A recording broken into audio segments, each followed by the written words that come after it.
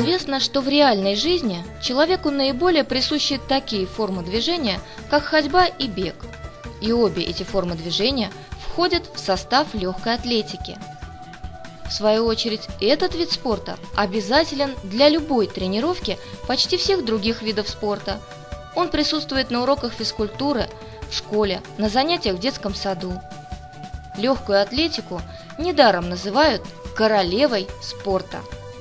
В Саровской детско-юношеской школе «Юниор» есть настоящий легкоатлетический манеж. Именно в этом зале воспитана олимпийская чемпионка, саровчанка Татьяна Фирова.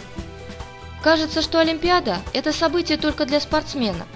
Но если чемпион вырос и тем более прошел первые шаги своего мастерства в твоем городе, то это гордость для всех горожан и вклад города в славу всей России.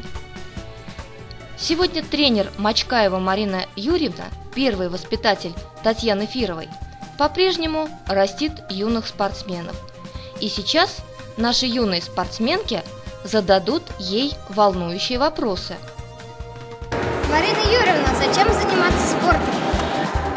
Я бы могла много вам говорить, зачем нужно заниматься спортом, но об этом очень хорошо написано в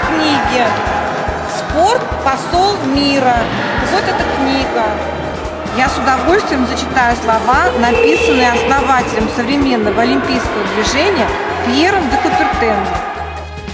Ты указываешь прямые честные пути, которые ищут люди для достижения целей. Спорт и радость, удовольствие, ты доставляешь ликование людям. А зачем спортсмену читать книги? И опять же, лучше, чем в этой книге, не ответишь.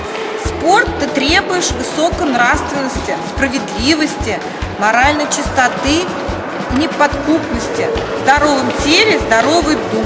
Спорт ты убеждаешь, что прогресс физический, прогресс нравственный – два пути к одной цели. Расскажите нам о самой знаменитой вашей ученице. Самой знаменитой моей воспитанницей, конечно, Татьяна Фирова. Пришла она заниматься, будучи в таком же возрасте, как и вы, может быть, даже и моложе. Своим трудолюбием, стремлением к лучшему результату. Она достигла вот таких результатов, какие у нее на сегодняшний день есть. Она является неоднократной чемпионкой России в беге на 400 метров, в эстафетном беге 4 по 400, неоднократной чемпионкой Европы, неоднократной чемпионкой мира и трехкратным олимпийским призером в беге на, эстафете 4 по 400. Спасибо, Марина Юрьевна. А где можно взять такую книгу? Все книги в библиотеке. И мы приглашаем вас на занятия легкой атлетики в нашу детско-юношескую спортивную школу «Юниор».